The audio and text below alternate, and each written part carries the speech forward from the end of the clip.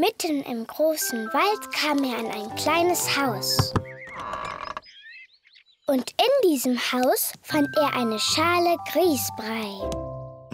Schorschi Wutz hatte großen Hunger. Und so aß er alles auf. Ham, ham, ham.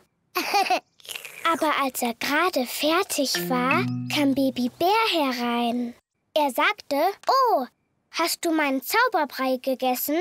Schorschi sagte, ja. Baby Bär sagte, das war Zauberbrei. Von dem wirst du ganz groß werden. Und dann fing Schorschi Wutz an zu wachsen. Er wuchs und er wuchs und er wuchs, bis er größer war als alle Bäume im Wald. Ende. Bist du jetzt müde, Schorsch? Nein. Noch nicht mal ein bisschen müde? Nein. Okay, ich erzähle noch ein bisschen weiter. Baby Bär sagte, es gibt eine Kiste mit Gold und Schätzen und die ist am Ende der Welt. Aber ich kann nicht so weit laufen, weil ich zu klein bin. Shoshi sagte, ich kann dich ja tragen. Und so lief Shoshi bis ans Ende der Welt.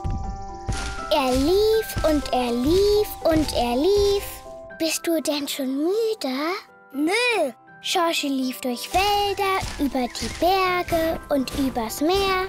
Und bist du jetzt müde? Nö. Er lief den ganzen Weg bis zum Ende der Welt. Und dort war eine große Kiste mit Gold und Schätzen. Uh. Und ein großer Drache. Grrr. Ja, ein großer grüner Drache mit kleinen Flügeln, der spuckte Feuer.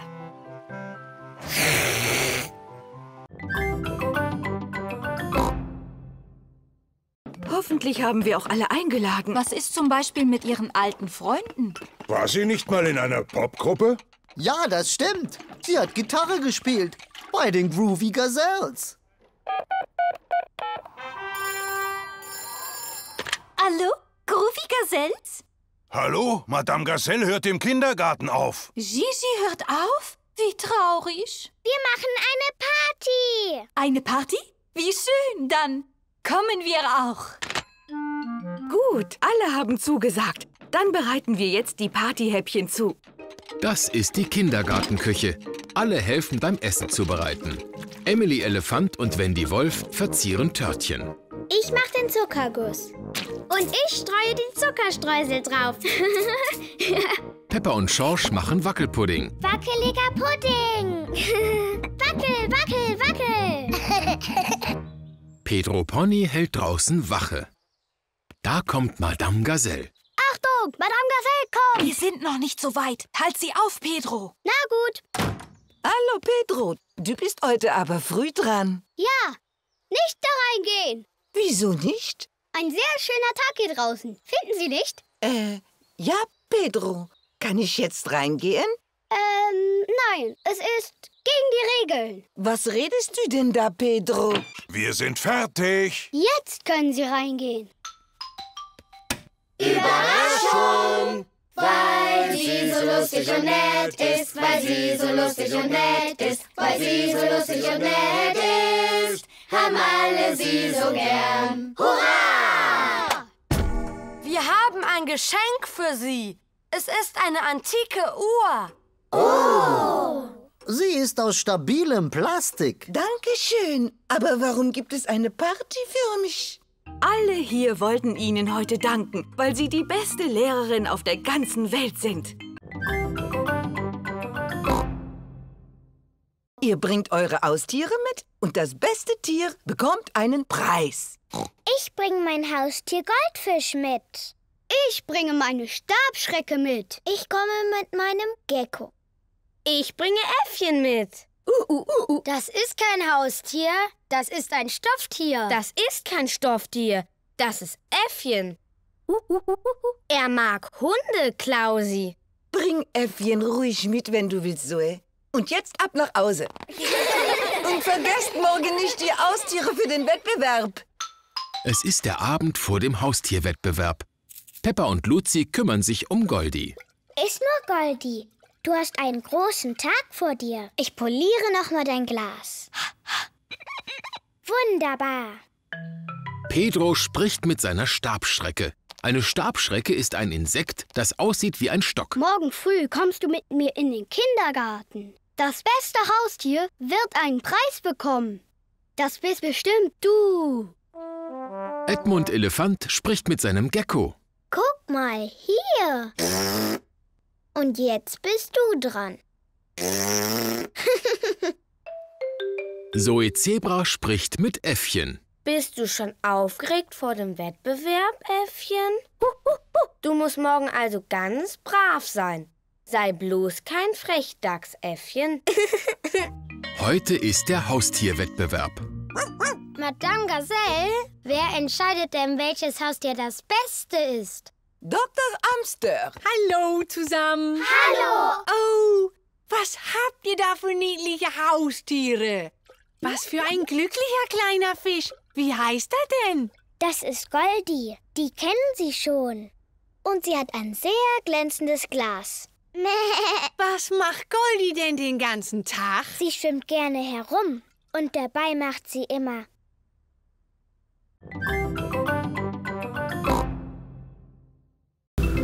Hast du alle Sachen eingepackt? Ich habe an alles gedacht. Duftkerzen, Yogamusik, Kissen und genug zu essen für mindestens drei Tage. Keine Panik, keine Panik. Hallo da drin, wir bekommen ein Kaninchen. Hallo, Schwester. Was machst du denn hier? Ich kriege ein Baby, weißt du noch? Oh ja, dann komm mal besser mit.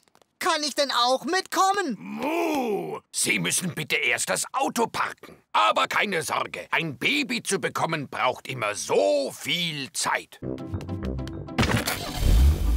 Alle Mann aus dem Weg! Meine Schwester bekommt ein Baby! Ein Teekessel und ein Haufen Handtücher. Das sollte ja wohl für einige Tage reichen. Oh, wo soll der ganze Krempel hin? Zurück ins Auto. Wir brauchen ihn nicht mehr. Was? Papa, jetzt hast du die Geburt verpasst. Wirklich? Ist es ein Junge oder ein Mädchen? Beides. Wir haben nämlich Zwillinge. Oh, toll! Am nächsten Tag ist Frau Löffel wieder zu Hause. Hallo, können wir bitte die Zwillinge sehen? Ja, natürlich, Peppa. Oh! Sind es Jungen oder Mädchen? Na, beides. Ein Junge und ein Mädchen. Sie heißen Lotte und Laurenz. Also habt ihr doch beide Namen genommen. Ja, Lotte Löffel und Laurenz Löffel. das sind die besten Namen der Welt. Und wir haben sie uns ausgedacht.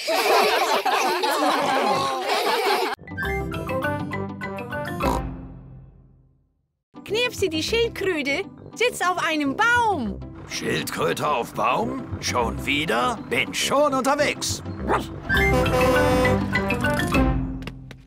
Hm. Wie bekommt man denn eine Schildkröte vom Baum runter? Fällen Sie einfach den Baum. Ja, wir fällen einfach den Baum. Nein! Na gut, dann kletter ich eben mal rauf. Hurra! Ja, ja. Oh, mir scheint, ich steck fest. Hunde können auch nicht sehr gut auf Bäume klettern. Können wir jetzt endlich den Baum fällen? Nein, wir rufen jetzt den höchsten Rettungsservice im ganzen Land. Okay, ich bin schon unterwegs.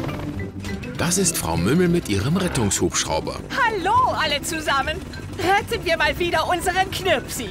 Ähm, wer fliegt jetzt eigentlich den Hubschrauber? Ups, ich Dummerchen. Ich stell mal schnell den Autopiloten an. Autopilot angeschaltet. Einen schönen Tag noch. Mit einem Autopilot fliegt der Hubschrauber von alleine. Hab ich dich, du kleiner Schlingel. Frau Mümmel hat Knirpsi gerettet. Dankeschön, Frau Mümmel, dass Sie meinen Knirpsi gerettet haben. Hab ich gern gemacht. Dankeschön auch für unsere Rettung. Ich mache nur meine Arbeit. Wiedersehen. Äh, haben Sie nicht etwas vergessen? Was? Oh ja, meinen Hubschrauber. Auf Wiedersehen alle zusammen. Auf Wiedersehen. Du bist wirklich eine freche Schildkröte. Oh gut, du bist jetzt müde. Ab in deine Kiste. Schlaf schön, Knirpsi. Knirpsi hält jetzt Winterschlaf.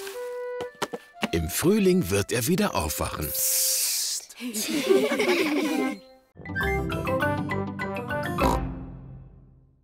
Und Peppa, Schorsch und Luisa Löffel spielen Schweinchen in der Mitte.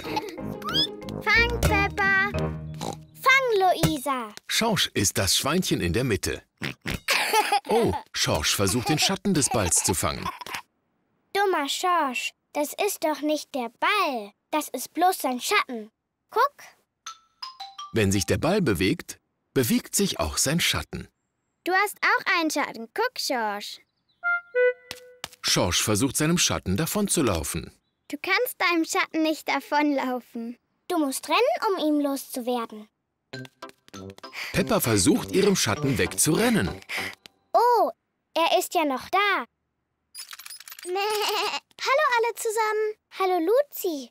Wir versuchen gerade unseren Schatten davon zu laufen. Aber niemand kann doch seinem Schatten davonlaufen. Oh, Dazu braucht ihr einen Roller. Hui! Luzi versucht, ihrem Schatten davon zu fahren.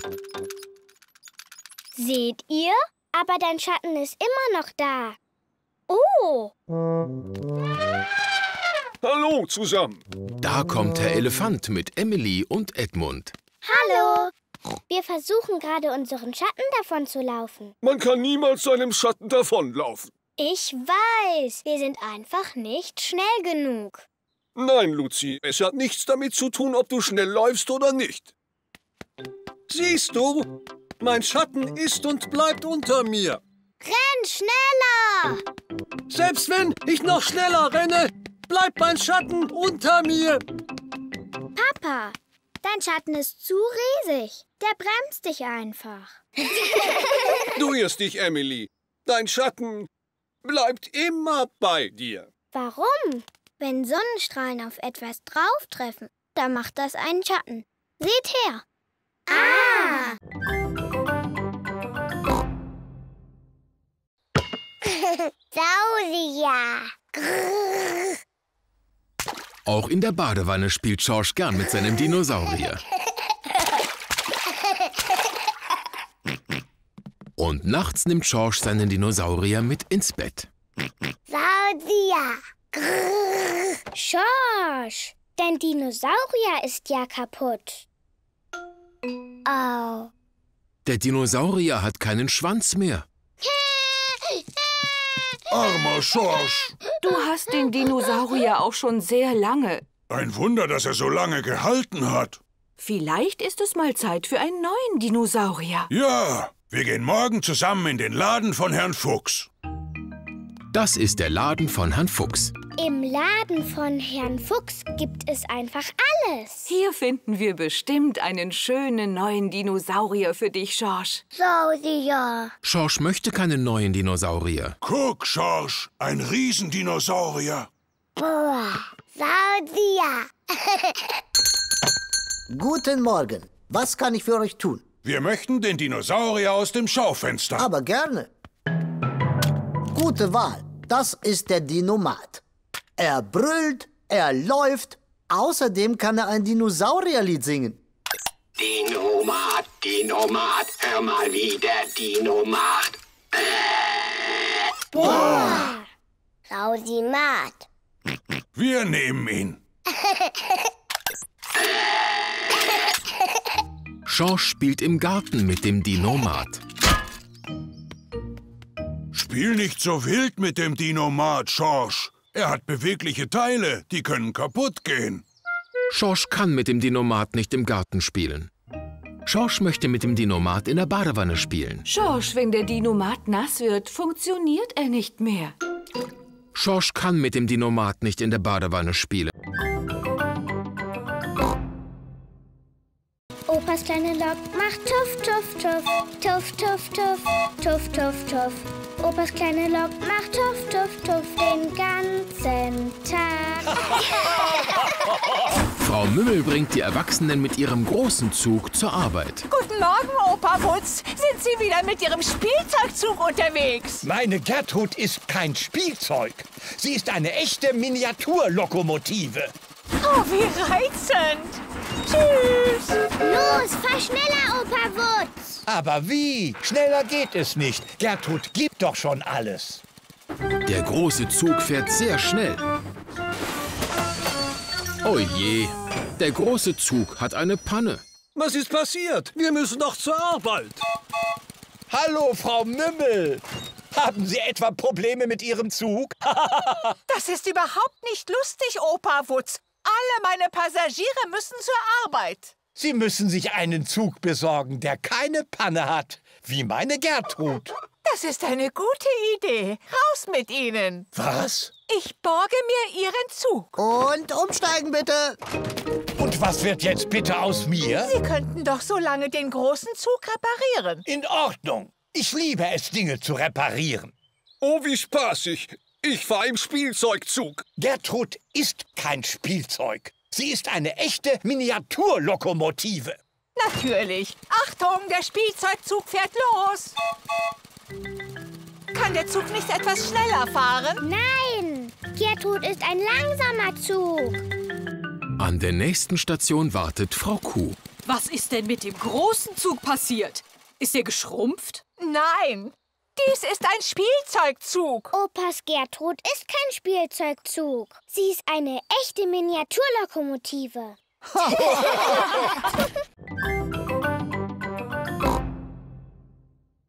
Papa Wutz, du müsstest hier wirklich dringend mal putzen. So schlimm sieht es nicht aus. Aber da sind überall Spinnenweben. Ich mag Spinnweben.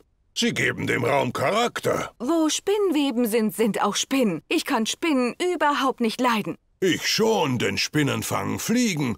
Und ich finde Fliegen grässlich. Gut, aber nur solange mir keine Spinne unter die Augen kommt. Eine Spinne. Schönen guten Tag, Herr Spaghettibein. Oh, wo bist du denn hin? Findet ihn. Ich will ihn nicht im Haus haben. Alle suchen Herrn Spaghettibein. Herr Spaghettibein ist nicht im Aktenschrank. Oh, Herr Spaghettibein ist nicht unter dem Hocker. oh. Herr Spaghettibein ist nicht auf dem Tisch. Oh, ich frage mich, wo Herr Spaghettibein steckt. Das klingt, als ob Mama Wutz ihn gefunden hat. Keine Angst, Mami. Weg! Schafft ihn raus! Na gut, dann nehmen wir Herrn Spaghettibein mit in den Garten. Jetzt hat Herr Spaghettibein den ganzen Garten zum Spielen. Auf Wiedersehen, Herr Spaghettibein. Es fängt an zu regnen. Herr Spaghettibein rennt zurück zum Haus. Vielleicht mag er den Regen nicht. Er klettert im Regenrohr hinauf. Klitzekleine Spinne läuft im Rohr hinauf. Fällt der Regen runter, spült sie wieder raus. Kommt die liebe Sonne, wimmt alles wieder auf. Klitzekleine Spinne läuft gleich wieder rauf. Ich möchte Herrn Spaghettibein nicht im Haus haben, Papa Wutz. Dann bringen wir Herrn Spaghettibein ein bisschen weiter in den Garten.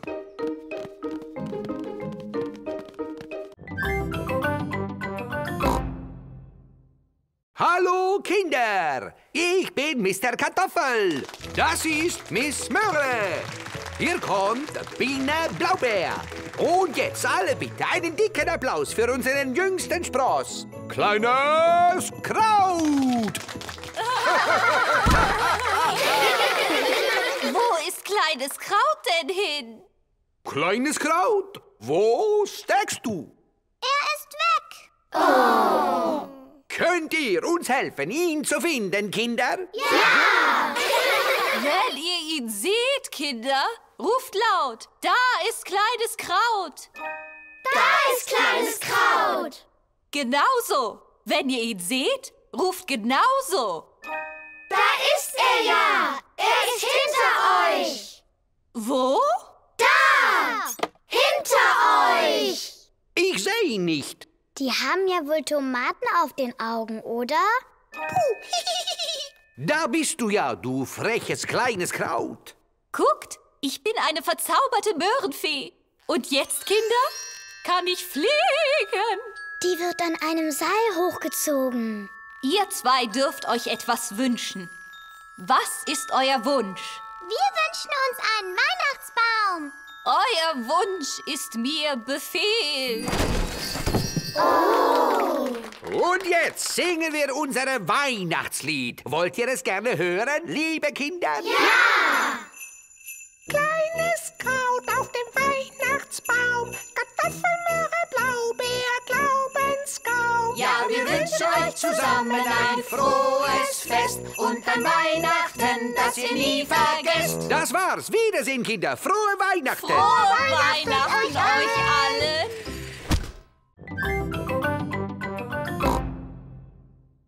Heute haben wir einen besonderen Gast und er spielt mit euch Basketball. Oh! Hallo. Papa, es ist noch nicht Abholzeit. Zu uns kommt heute erst noch ein Basketballlehrer. Das bin ich. Ich bin euer Coach. Einen Basketballlehrer nennt man Coach. Oh! Gut gemacht, Papa. Pepper, nenn mich Coach. Okay, Papa Coach. Kann denn einer von euch schon Basketball spielen? Nö. Es macht Spaß.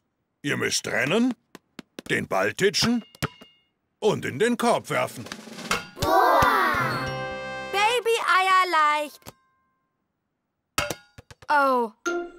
Es ist nicht so einfach, wie es aussieht. Um gut in Basketball zu sein, muss man hart trainieren und sich fit halten. Sind Sie denn fit, Papa Coach? Ja, ich bin super fit. Aber Papa Coach, du hast ein dickes Bäuchlein. Dieses Bäuchlein sind pure Muskeln.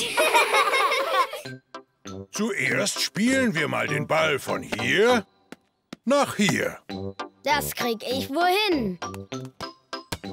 Nein, Klausi, doch nicht mit deinen Füßen. Das ist Fußball. Klausi Kleff mag Fußball. Beim Basketball titscht man den Ball mit seinen Händen. Seht mal her.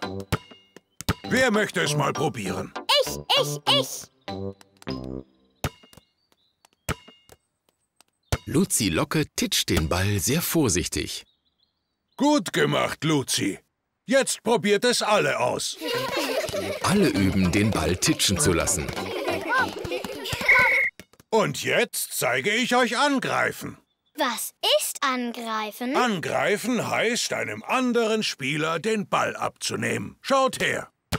Versuch ihn mir abzunehmen, Schorsch.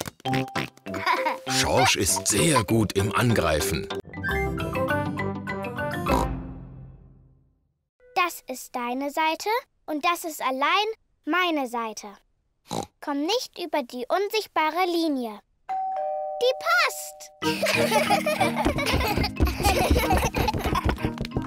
Guten Tag, Herr Zebra. Guten Tag, Papa Wutz. Ich habe Briefe für Sie dabei. Sind das auch Briefe für mich und Schorsch? Hm, ich fürchte nein. Alle für Mama und mich. Oh, Es gibt auch noch ein Paket. Das ist sicher der Stahlbeton, den ich bestellt habe. guck mal, die vielen Briefmarken.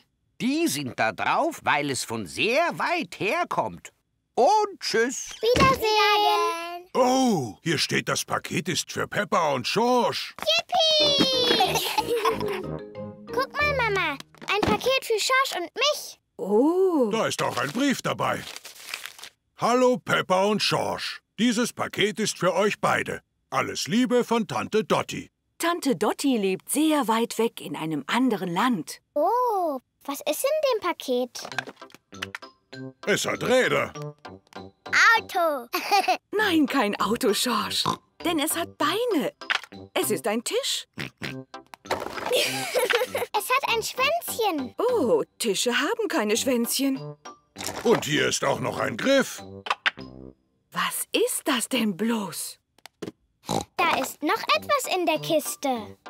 Ein Spielzeugpferd. Und ich nenne es Glitzerfuß. Hatte Hü. Glitzerfuß. Hatte Hü. Nein, Glitzerfuß. Hatte Hü. Denkt daran, Kinder. Tante Dotti hat das Paket an euch beide geschickt. Ihr müsst es euch teilen. Teilen macht doch Spaß. Kann ich zuerst mit Glitzerfuß spielen? Lass Schorsch zuerst damit spielen. Er ist der Jüngste. Attehü, attehü. Schorsch spielt sehr gern mit Hottehü. Schorsch, das Pferd heißt Glitzerfuß, nicht Hottehü. Und jetzt ist Pepper dran. Die scheint verkehrt herumzuliegen. Ich drehe sie mal um. So. Dr. Hamster hat der Eidechse geholfen. Oh, schon wieder ein neuer Notfall. Hallo? Hallo? Opa Wutz ist hier am Apparat. Opa Wutz ist mit seinem Boot draußen auf dem Meer. Es geht um Polly. Mein Papagei scheint krank zu sein. Oh, Papagei krank. Ich bin gleich da. Guck, Polly. Da kommt die fliegende Tierärztin. Wo landen wir denn hier überhaupt? Das ist ein Wasserflugzeug, Pepper. Wir können auf dem Wasser landen. Boah! Hallo, Pepper, Schorsch. Hallo, Opa Wutz. Wir sind alle gekommen, um Polly zu helfen. Seit wann geht es Polly denn schlecht? Seitdem wir mit dem Boot rausgefahren sind. Aha. Ich glaube, ich weiß, was Polly fehlt. Sie ist seekrank. Oh. Bringt sie wieder ans trockene Ufer. Je eher, desto besser. Da ist eine Insel. Da sind wir schon. Besser, Polly. Ah, besser, Polly. Hurra! Polly fühlt sich putzmunter. Oh, doch nicht schon wieder Notfall. Hallo? Hallo, hier spricht Papa Wutz. Papa Wutz ist in seinem Büro. Auf unserem Dach sitzen ein paar Entenküken. Ich bin schon unterwegs.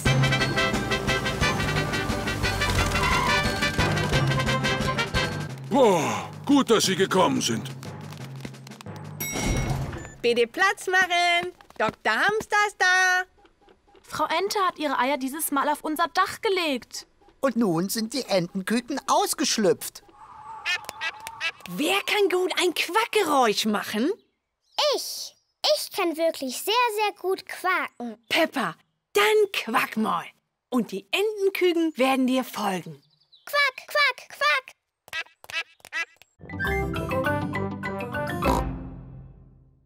Ich fahr da nicht hoch. Schorsch ist noch zu klein, um alleine mitzufahren. Oh, also gut. Dann lass uns schnell fahren. Oh, ihr werdet allerdings schnell fahren. Schorsch hat seine Meinung geändert. Oh, armer Schorsch. Komm zu Mami. Ich steig dann auch mal schnell aus. Und ab die Post! Viel Spaß, Papa Wutz. Oh, oh, es hat gestoppt. Ich bin froh, dass es vorbei ist.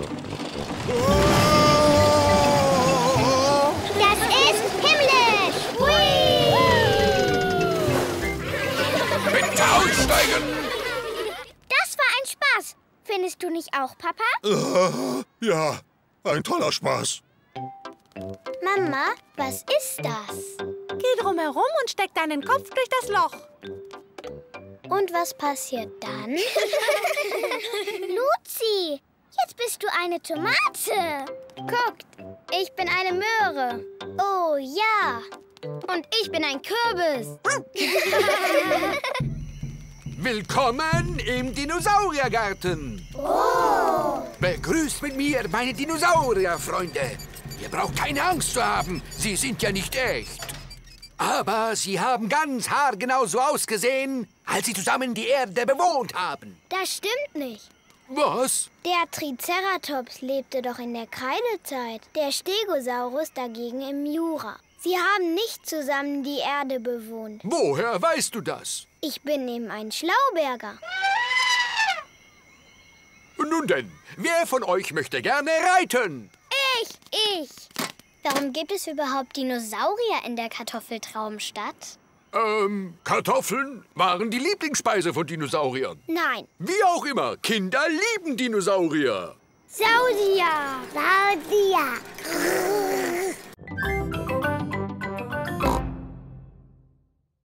Hallo, Pedro. Hello, everybody. Willkommen in meinem Cowboy Camp. Yeehaw! Das ist ein Zelt. Das ist ein Cowboy Camp, wo Cowboys die Nacht drin verbringen. Übernachtest du denn heute Nacht da drin? Ähm, nein, das ist mir doch ein bisschen zu gruselig. Aber wir können ja so tun, als wäre Nacht. Aber es ist jetzt nicht Nacht. Stellt euch vor, die Sonne wäre der Mond. Okay. Pedro, sind wir denn jetzt auch Cowboys? Klar, ihr könnt ja meine Kumpels sein. Ist mein kleiner Cowboy hungrig? Klar bin ich das, Ma. Das war echte Cowboy-Sprache. Habt ihr Cowboys und Cowgirls denn vielleicht auch ein bisschen Hunger? Ja, haben wir, Ma.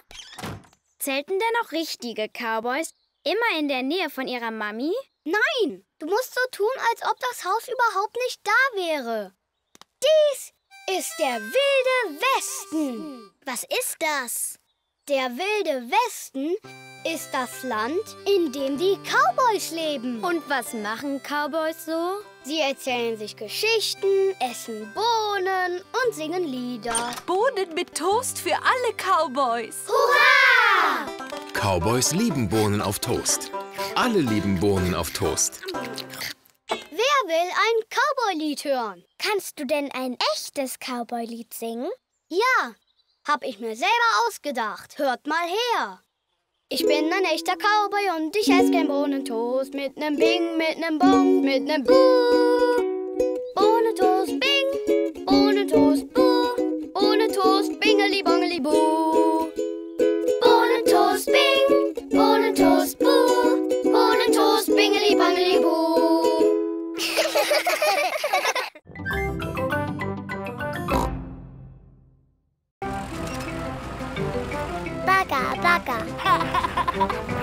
Sind Herr Bulle und seine Freunde. Herr Bulle ist gekommen, um das neue Haus zu bauen. Baust du es denn nicht selber, Papa? Ich habe den Entwurf gemacht. Herr Bulle muss nur meinen Anweisungen folgen. Guten Tag, Herr Wutz. Was soll es werden? Parkplatz? Ein Schwimmbad? Raketenstation? Ein Haus. Können Sie es genauso bauen wie dieses hier? Nur größer. Herr Wutz möchte ein Haus. Soll es aus Stroh gebaut werden? Oder aus Holz? Oder aus Steinen, Herr Wutz. Aus Steinen, bitte. Wie Sie wünschen. Und was ist mit der Schaukel? Die Schaukel bauen wir natürlich auch.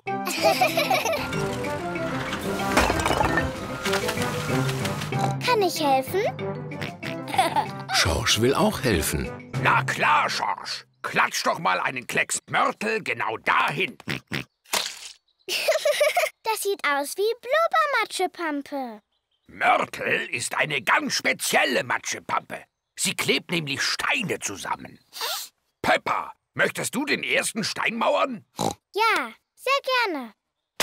Gut gemacht. Ich mach den Rest. Steine muss man gerade und gleichmäßig mauern. Seht ihr? Reihe für Reihe. Das dauert aber ewig. Genau. Und wirst du heute damit fertig? Oh nein, man kann kein Haus an einem Tag bauen. Ich brauche dafür bis morgen. Gut. Bis morgen, Herr Bulle. Wiedersehen. Tschüss. Schorsch hat den Klebematsch hingeklatscht. Und ich habe den Stein drauf gemauert. Das klingt alles sehr aufregend. So, jetzt macht die Augen zu und schlaft.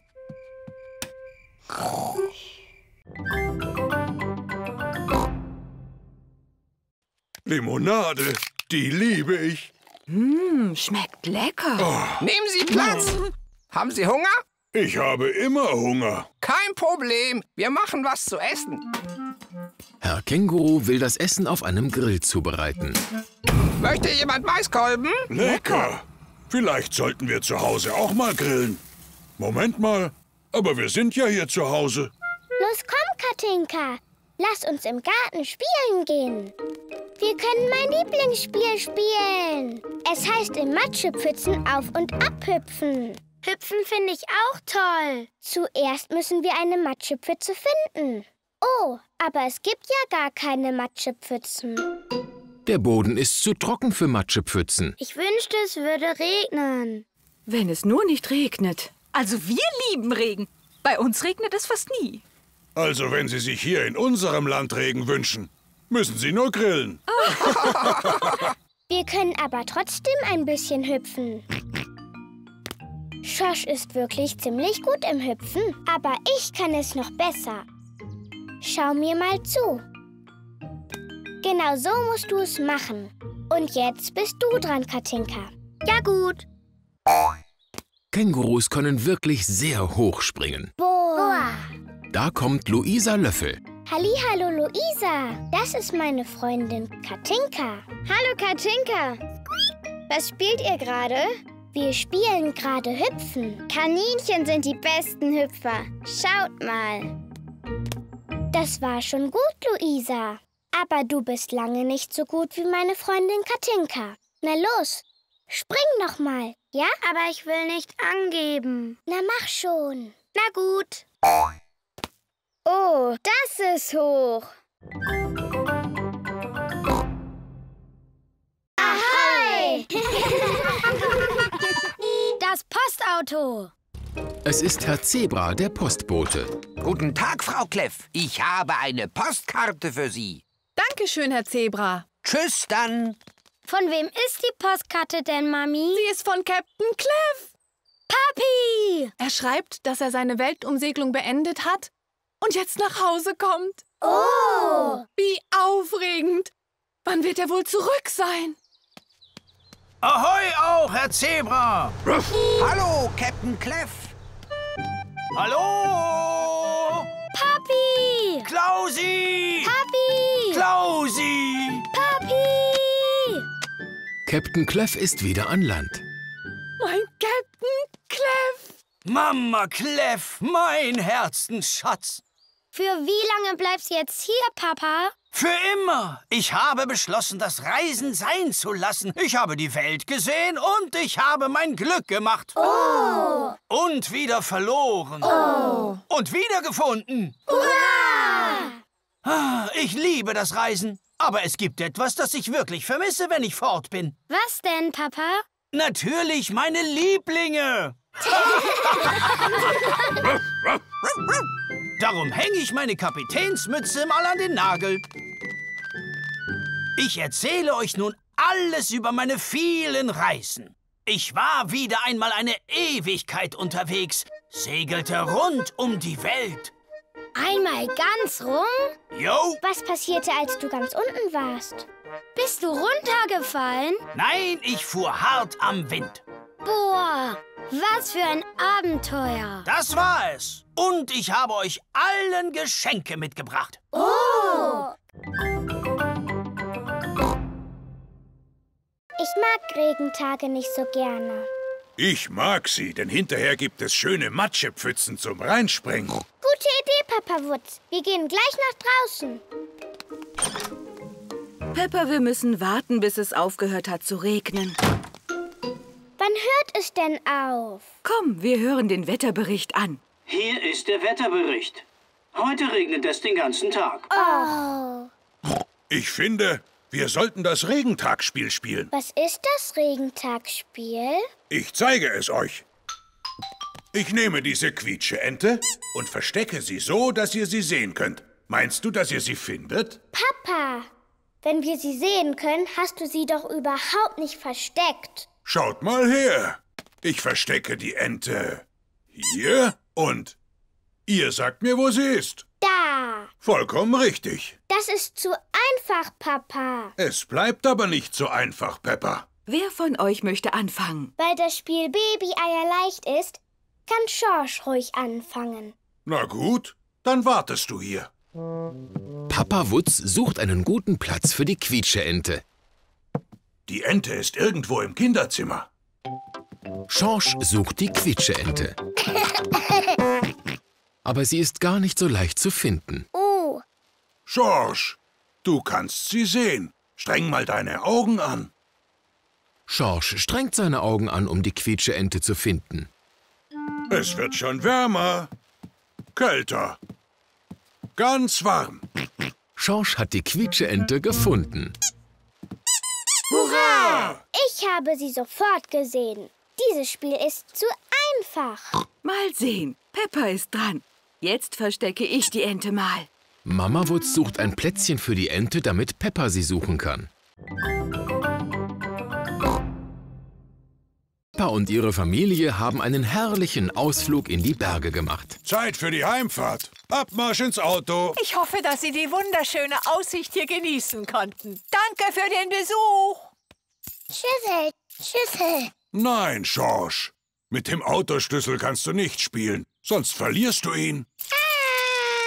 Du spielst aber mit dem Autoschlüssel, Papa. Aber ich bin erwachsen und deshalb verliere ich ihn nicht. Oje, Papa Wutz hat den Autoschlüssel in den Gully fallen lassen. Oh, fertig. Und ab nach Hause. Ähm, das könnte vielleicht schwierig werden. Weshalb? Papa hat den Autoschlüssel in den Gully da fallen lassen. Oh, Papa Wutz. Nicht aufregen. Ich hole den Autoschlüssel wieder heraus mit diesem Stock. Hurra! Hm, der Gully ist wohl tiefer, als ich gedacht habe. Der Stock ist zu kurz, um an den Schlüssel zu kommen. Was wir jetzt brauchen, ist eine Angelrute. Mit dem Haken können wir den Schlüssel rausfischen. Vielleicht verkauft Frau Mümmel ja Angeln. Äh, verkaufen Sie Angeln? Das tue ich allerdings. Ich weiß nicht warum. Hier in den Bergen können Sie eigentlich nicht fischen. Wir fischen auch keine Fische. Wir fischen nach Schlüsseln. Mein Papa hat den Autoschlüssel da in den Gully reinfallen lassen. Oh, den kriegt ihr da nie wieder raus. Der Gully ist wirklich tief. Wozu braucht man Gullis? Durch die Gullis fließt das Regenwasser ab und dann zum Meer. Die Angelleine ist nicht lang genug, um den Schlüssel zu erreichen. Oh je, Mine. Wie tief ist dieser Gully denn? Probieren wir mal aus, wie tief er ist. Mit diesem Stein. Gute Idee, Frau Mümmel. Wir können zählen, wie lange der Stein braucht, bis er ganz unten ist. Eins, zwei, drei, vier, fünf, sechs.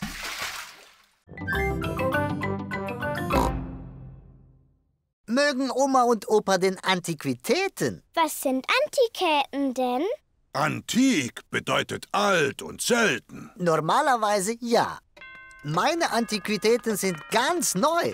Diesen Stuhl hier habe ich zwölfmal. Ist das nicht toll? Ist der aus Eichenholz? Genau, der Stuhl ist aus Plastikeichenholz. Ist der denn auch bequem? Kommen Sie da bloß runter. Auf Antiquitäten darf man nicht sitzen. Und was macht man dann damit? Man schaut sie an. Das macht aber keinen Spaß. Noch nicht mal, wenn man erwachsen ist. Ein Geschenk für Oma und Opa zu kaufen ist wirklich nicht einfach. Ich verstehe das nicht. In meinem Geschäft gibt's einfach alles. Es muss doch was zu finden sein. Ist es auch.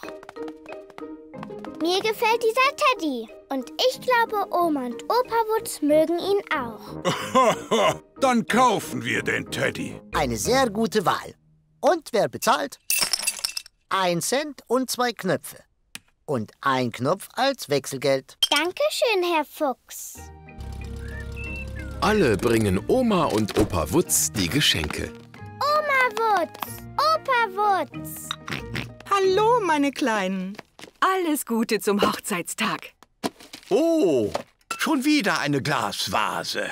Das ist ein Erwachsenengeschenk. Deshalb ist es etwas langweilig. Sie gefällt mir. Wir tun sie einfach zu den anderen Glasvasen. Schorsch und ich haben auch ein Geschenk gekauft. Hoffentlich gefällt es euch. Ein Teddybär. Für Opa und mich. Dankeschön, Peppa und Schorsch. Man kann ihn sehr gut knuddeln. Hat er einen Namen? Ähm, ähm, also er heißt Eddie der Teddy. Und was isst Eddie am allerliebsten? Schokolade und Brokkoli. Das ist das beste Geschenk, das wir je bekommen haben. Oh ja, aber wenn Eddie hier bei uns leben soll, braucht er Kinder, die mit ihm spielen. Wir zwei können mit Eddie spielen. Und das heißt, wir feiern alle Länder auf dieser Welt. Hurra! Peppa ist Frankreich. Ich bin Frankreich. Schorsch ist Russland. Pedro ist Amerika. Yeehaw! Zoe ist Japan. Konnichiwa. Luzi ist Holland. Hallo. So sagt man in Holland Hallo. Madame Gazelle, und was sollen die Länder der Welt jetzt tun? Wir singen jetzt das Friedens- und Freundschaftslied zusammen. Ich liebe singen. Oh, ich auch. Wisst ihr denn noch alle, wie der Text geht? Ja, Madame Gazelle. Wir wollen Frieden für die ganze Welt. Alle Länder sollen Freunde sein. Wir wollen Frieden für die ganze Welt. Wir hier wollen Freunde sein. Wunderschön. Und nachher werden wir das Lied für eure Mamas und Papas singen. Jetzt ist Spielzeit. Viel Spaß wünsche ich euch. Ich hoffe, ihr vertragt euch schön. Alle Länder spielen auf dem Spielplatz. England ist auf der Rutsche. Hui! Frankreich und die Schweiz schaukeln. Deutschland spielt Hüpfekästchen. Eins, zwei, drei. Amerika, Russland, Spanien und Griechenland spielen im Sandkasten. Ich baue jetzt eine riesige Sandburg. Yippie! Da kommen Holland und Japan. Jetzt sind wir mal dran, im Sandkasten zu spielen. Warum? Weil ihr jetzt lang genug da drin wart. Und deshalb kommt ihr da bitte mal raus. Wir wollen aber viel lieber hier bleiben.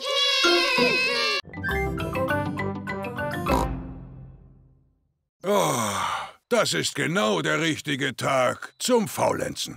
Papa Wutz liebt es zu faulenzen. Besser geht's doch nicht.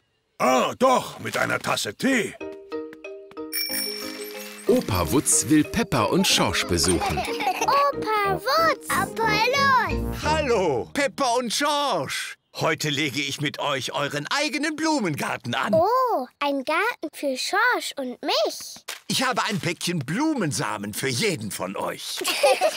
Und jetzt brauchen wir einen schönen sonnigen Platz, um eure Samen einzusäen. Wunderbar. Opa Wutz gräbt Peppas und Schorschs Garten um. Oh! Ah, Tee für die Arbeiter. Dankeschön, Papa Wutz. Äh, was geht hier vor? Wir machen hier unseren Blumengarten. Brauchen wir denn einen Blumengarten? Ja! Ja. Hier habe ich gerade auf meinem Stuhl gesessen. Es gibt wichtigere Dinge als Stühle, Papa Wutz. Aber ich sitze hier immer und lese meine Zeitung. Aber natürlich gibt es viel wichtigere Dinge als Zeitungen, Papa. Ja, Blumen zum Beispiel. Guck mal, Papa. Peppa hat viele kleine Blumensamen. Schorsch hat nur einen Blumensamen. oh. Aber es ist ein ziemlich großer Samen. Könntest du uns etwas Wasser bringen, Papa Wutz? Hm, na gut. Samen brauchen sehr viel Wasser. Sie sind nämlich sehr durstig. Ein paar Vögel kommen angeflogen.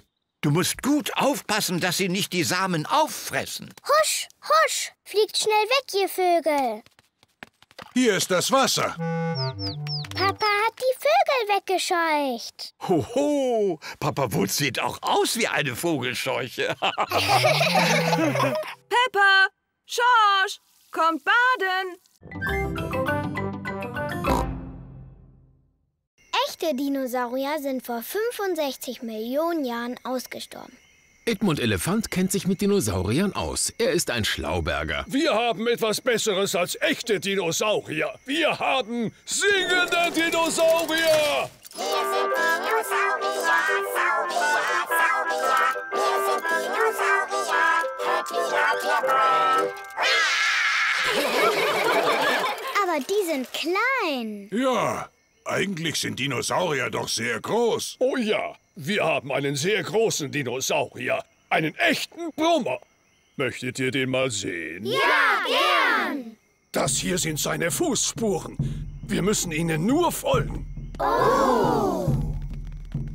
Diese Fußspuren sehen sehr echt aus. Bist du sicher, dass hier keine richtigen Dinosaurier leben, Opi Mümmel? Ziemlich sicher, Papa Wutz. Über die Felsen, alle Mann! Über die Brücke! Durch die Höhle! Oh, die Fußspuren haben aufgehört. Schaut mal, da geht eine grüne Treppe hoch. Eine Riesenrutsche. Hui! Hui! Hui! Boah, das Das ist ein Dinosaurier. Ja, das ist meine monstergroße, riesigartige Saurierrutsche.